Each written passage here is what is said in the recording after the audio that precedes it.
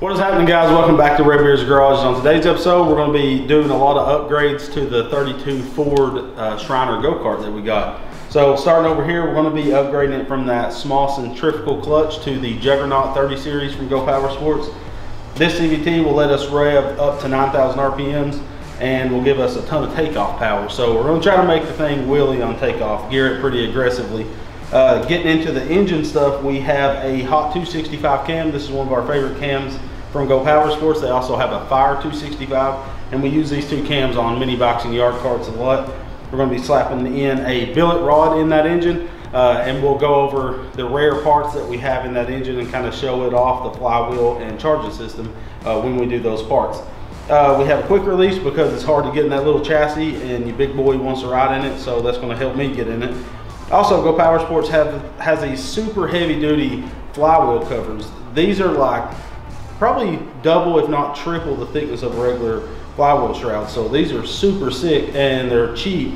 It's going to protect you a ton because if you remember a while back, we had a starter cup fail on us and shattered our side cover. So this is going to protect us in the event if that ever happens again. Uh, we got some new HD Manco pedals. This is going to allow us to put the pedals all the way forward in the chassis and give us more leg room. New live axle, as well as these big Fat Daddy 18 inch slicks. We had these on gravy bones. And then we put a more aggressive treaded tire on it. So I think these are gonna match that hot rod theme perfectly with some 10 inch modular wheels on the front. These are like a mini bike style wheel from Go Power Sports. You can use them on go-karts, you can put disc brakes on them. They're super sick. So all these parts are gonna make this hot rod the way it should have been from factory. And we have a huge surprise at the end of this build because I know a lot of guys want to see a crazy engine in it. We have a really rare $1,000 part to put on this uh, to bring out that true hot rod nature. So stay tuned for the last video of this series. We're gonna keep it a secret until that video comes out. So stay tuned for that. So let's get the car in here first. We need to fit these wheels because I don't know what we're gonna have to do to fit these wheels and tires. I'm gonna try to stay away from cutting much of the body. But in the end, we may have to do a little bit of trimming. So we're gonna get the factory wheels and tires pulled off and slap these new ones on and get it to looking like a true hot rod. Jeepers, mister, you're really strong.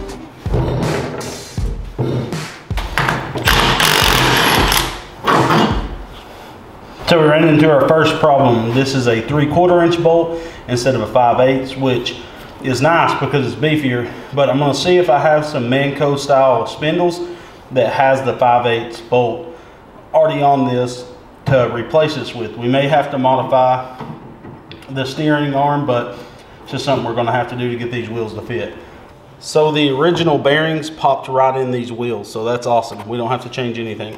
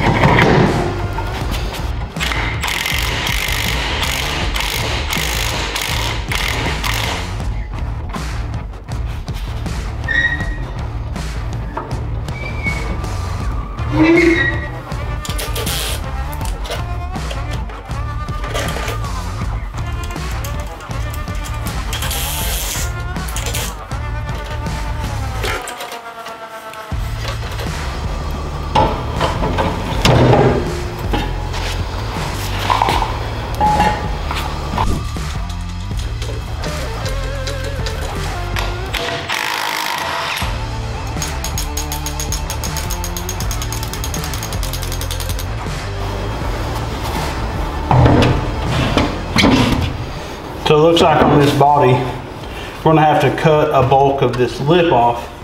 Then I think we can fit this wheel just perfect. So we're gonna get an angle grinder or something and just take a good chunk. I'm gonna leave the turn down on this lip just enough so it's not just a flat piece of fiberglass. It still has that curve.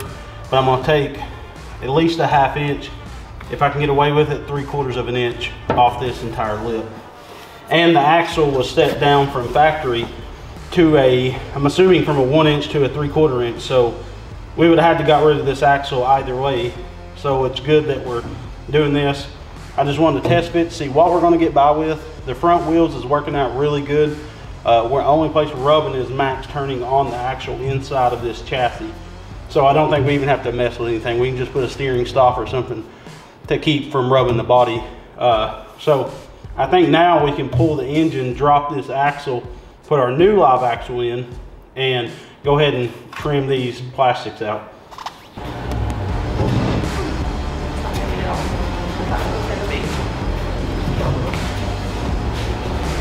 Jeez, look at the butt on that. He must work out.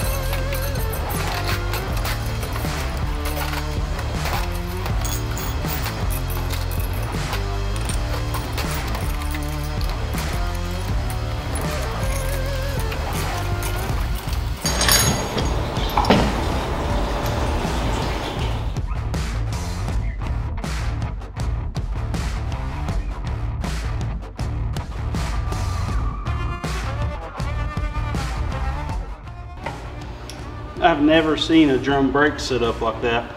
So it utilizes the axle bearing holes. So you use these longer bolts. And I don't know who made this, but I'm definitely not gonna get rid of this setup. I think it'd be cool to get this re-chromed or polish it up. I'll probably be able to polish that rust off there and use this on something else. That's a sweet, like a real car setup. I like that. Now I need to find some shoes for it.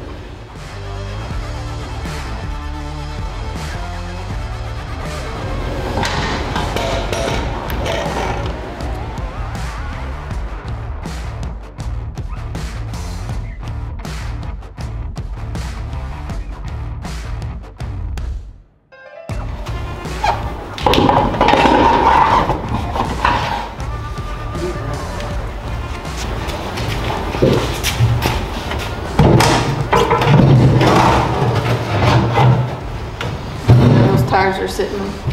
Yeah, I just need to see where they're gonna need to sit. So, we have the tire too much in. There's no way this tire can go this much. It has to be about a half inch out because this tire won't even spin right now because it's touching the chassis. So, we have one of 12 options. Um, we can cut some of this lip off you know, like still leave the bend to it and just cut the flat portion off all the way around and then go to a more point back here.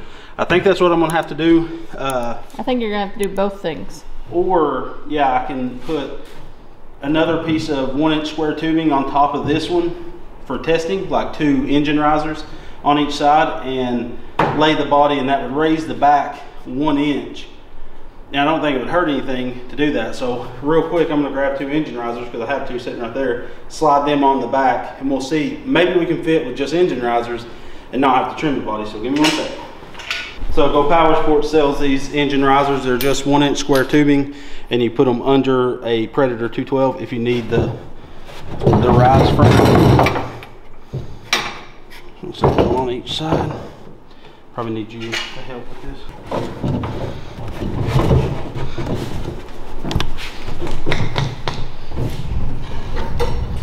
Only thing, there's a gap at the seats now.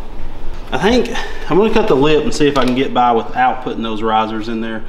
I really don't wanna do that because I feel if, if I put the risers here, I need to put them up front as well because the body's not gonna wanna sit on that square tubing correct.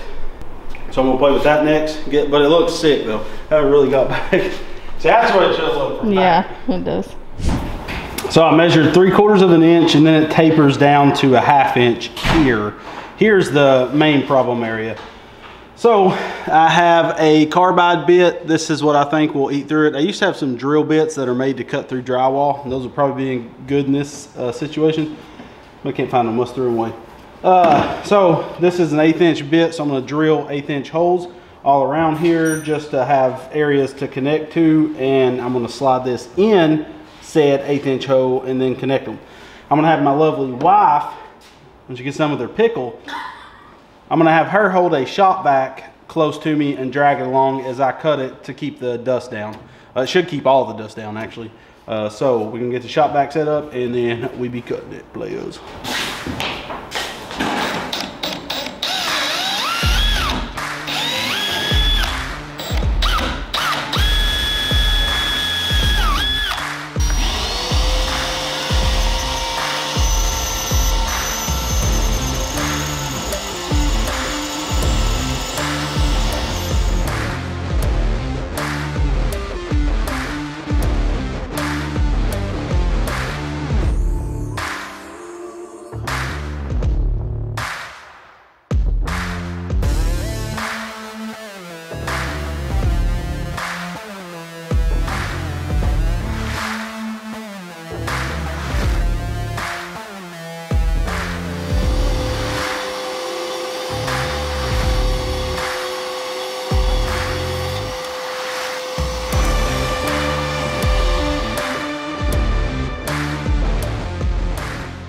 So I'll take an angle grinder, we'll get the back, we'll probably take it outside when we do that and wear respirators.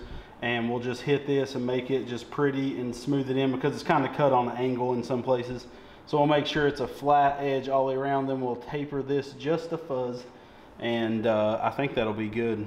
And there's some places we can open up a little bit more. I'll just do it by eye. Doing the main cut by measurement, three quarters of an inch, and it drops down to half inch right there.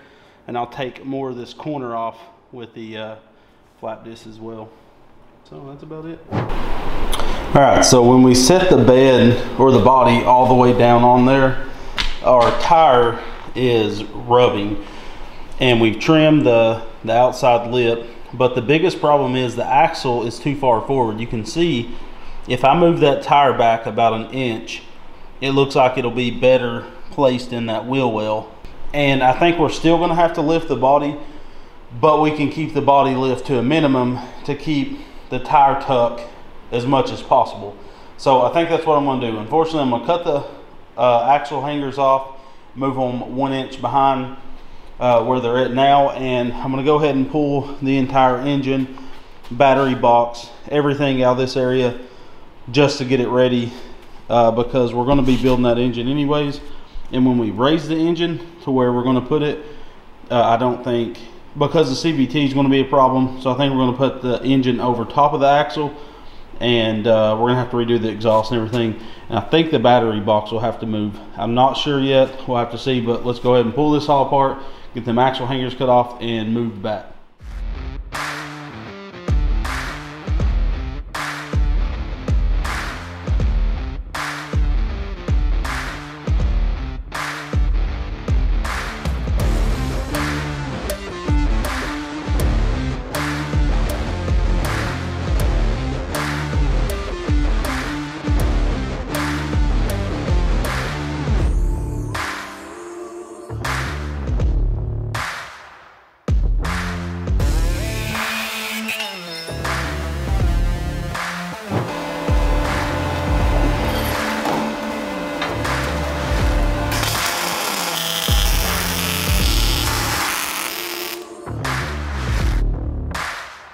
So after moving the axle hangers back, it's actually like almost perfect. So this is with the body sitting all the way down, no risers.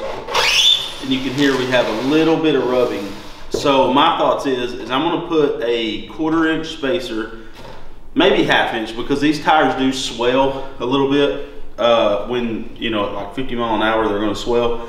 So I can put a half inch little puck on the front and the rear right here to raise it just a little bit to keep from that. But I think that tuck is so weak. I mean, of course, if we pull it up just right there, there's no rubbing. And that's a quarter of an inch. So I think a quarter of an inch will possibly do it. And it isn't like if we do a quarter of an inch, we can't go back and put another quarter if we do get any rubbing. So all we did was move those axle hangers back and then trim the lip. Both needed to be done. I haven't cleaned this lip up yet, but I'll do it before we go like on the final, you know, build out where we're gonna powder coat the frame. So now we can start prepping our engine setup because we did have to cut the engine plate off. It had like a really thin piece of steel right there, you can see, and it was kind of floppy back there. So we cut it out and what we're gonna do is put the engine over the axle and it's only going to be like a quarter of an inch hovering above the axle to get everything tucked so we can use this hood area. So we're going to have to modify the CVT and do some stuff. So let's get right into that. Build the engine plate, getting the CVT modified, and then we'll be good to start building the engine. So let's get to it.